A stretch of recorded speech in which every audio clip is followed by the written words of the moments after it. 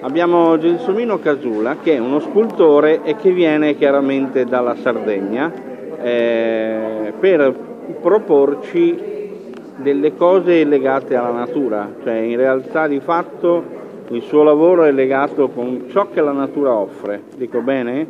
Almeno da quello che noto sono...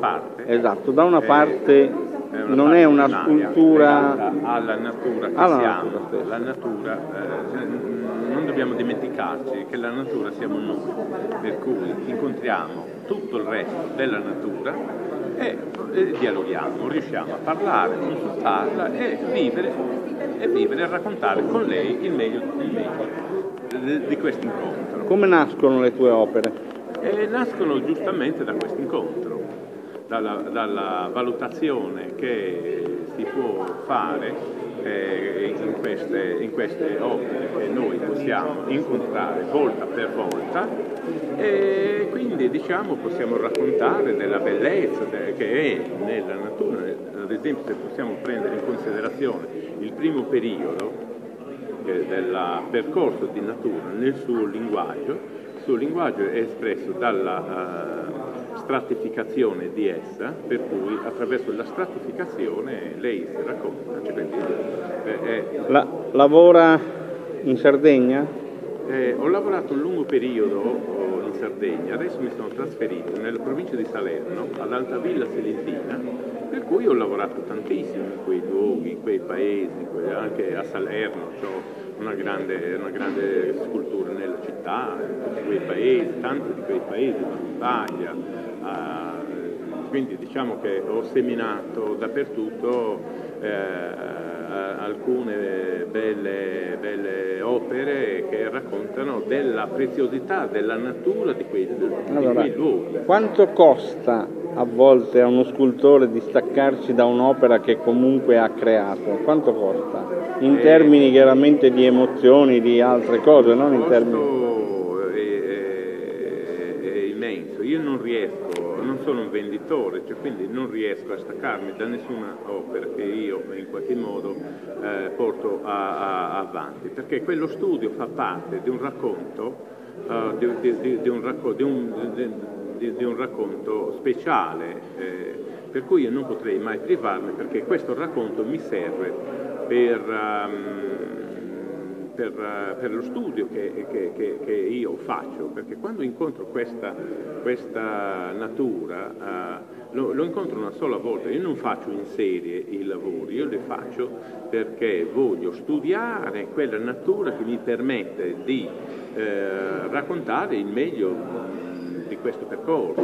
Cioè, quindi tutto mi serve per raccontare Come nasce una tua scultura. scultura? Quando trovi qualcosa dici da qui voglio nasce- fare una scultura, come nasce? E nasce dall'amore che uno prova verso quel sentimento così profondo, cioè perché nasce dalla, dalla capacità e dalla, dalla giusta volontà di porsi verso oh, una- un, un lavoro come può essere lo scultore, che è il mestiere più difficile al mondo. Per cui diciamo fare lo scultore vuol dire vuol dire qualcosa di, di- di- di eccezionale, qualcosa di, eh, com- come dire, scoprire qualcosa che non si conosce prima, prima non c'era, cioè la scultura ti regala proprio quella, quella forza espressiva che eh, incontri per eh, la prima volta. Eh, è- cioè, diciamo forse eh, una scultura vuol dire anche un parto, no? Ma le tue sculture sono prevalentemente di sasso?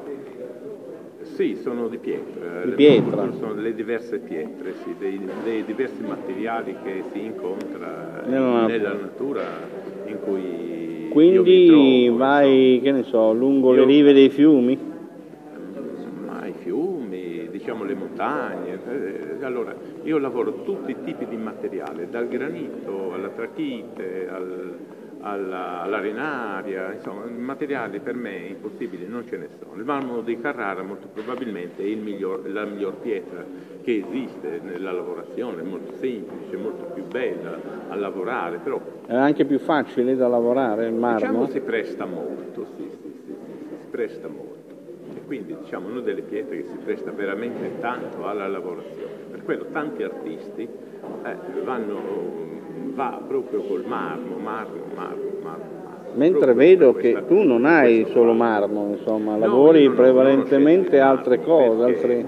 Il marmo mi limita molto cioè il marmo è, è per, il, per, lo studio che ho io, eh, perché io studio l'irripetibilità dell'opera, per cui mi limito in una maniera incredibile. Col marmo eh, cioè, mi diventa ripetibile, no? cioè, un'opera, perché in effetti è, bianco un, un, un, un, è bianco questo, è bianco l'altro, è bianco, quindi è come se fosse ripetitivo, mentre invece eh, gli altri materiali non sono così eh, ripetitivi, insomma, per cui io sono chi sta studiando l'irripetibilità dell'opera e non la, la come si chiama, l'opera in serie, per cui siamo, sono due studi completamente differenti.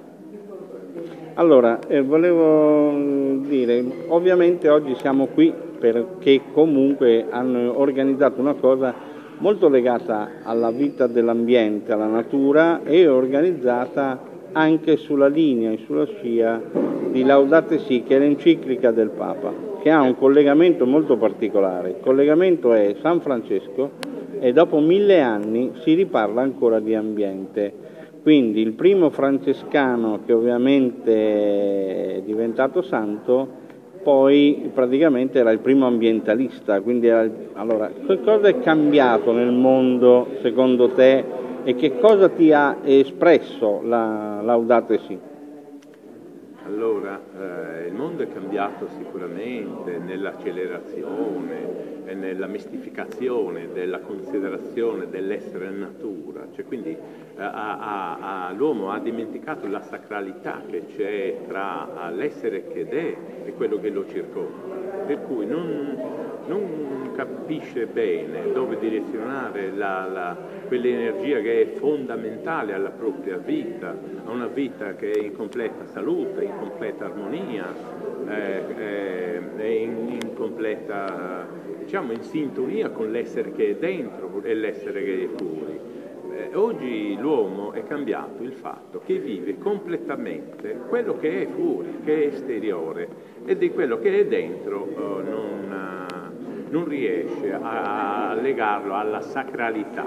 Allora, la sacralità che, che, che è l'uomo, che l'uomo in qualche modo è sacro, è, è legato al sacro, per cui non vive quella parte più, più pregiata, ma vive la parte diciamo che sono i soldi, gli interessi vari, e insomma eh, mercificazione. Quindi questa mercificazione non va in accordo con l'essere che è intelligente, di, di, di, di grandi, grande eh, potenzialità intellettive, eccetera, e eh, secondo me sta sbagliando direzione, di, eh, direzione eh, vitale. Questa direzione vitale che doveva essere con la natura insieme è diventato contro la natura che è e quella che è dentro e con quella che è fuori. Io lo sento molto, molto, molto, molto, molto grave questo. Bene. Grazie, grazie infinite e buon lavoro per le prossime sculture ovviamente. Grazie a voi di essere stati